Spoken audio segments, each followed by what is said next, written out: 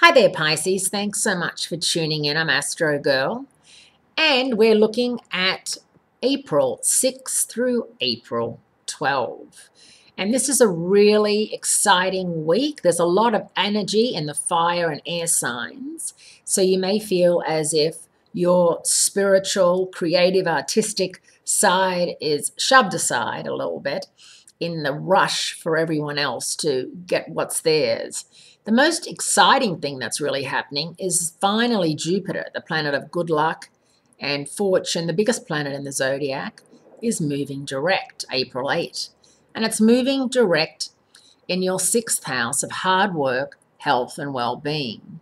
And this is an area through August 22nd that you really need to focus on your mental and physical and spiritual health. If you need to lose some weight, if you need to stop smoking, maybe cut back on drinking, cut back on carbs and sugar, whatever it is you know that the, maybe the doctors told you, or you just feel, you know, you know, you when you eat dairy, you feel sick. A lot of people are lactose intolerant these days. And, you know, whatever you know that works for you and that's healthy, this is the time to do it because Jupiter has a very short run in that zone, but Jupiter is on fire, literally. And being the biggest planet in the zodiac, very powerful. So, this is a really good time for you if you want to go on a detox or a cleanse and just get yourself into tip top shape. This is the time to do so. Mercury and the Sun continue to transit your second house of self worth and self esteem and money. So you may find yourself comparing yourself way too much with other people, what they have and what you don't have. I found this quote that I love Comparison is the thief of happiness. Be kind to yourself. And I think that sums it up.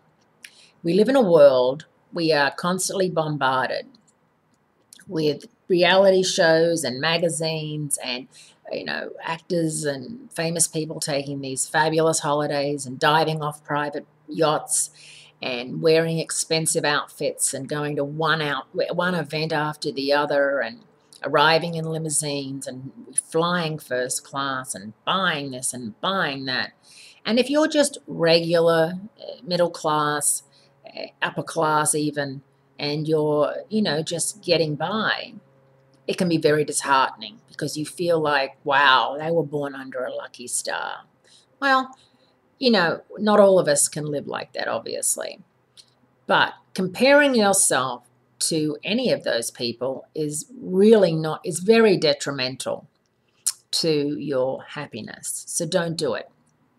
Think about how you can make yourself the happiest you can possibly be. Just because they've got private yachts and planes and eight cars doesn't mean they're necessarily that happy.